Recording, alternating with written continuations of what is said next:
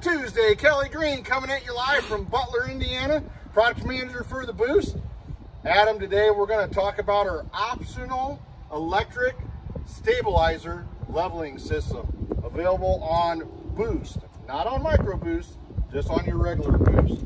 So what you've got is you got a 12 volt system to an electric stabilizer with a switch that's available on the outside that you can actually extend them, drop them down to the ground, and what it's going to do for you is it's going to give you that slight pressure on your frame and your floor so that you don't have that rocking back and forth. You don't have to get out with your crank. And then you can push the button the opposite direction and bring them back up. For self of ease, go ahead and put those babies on as an option.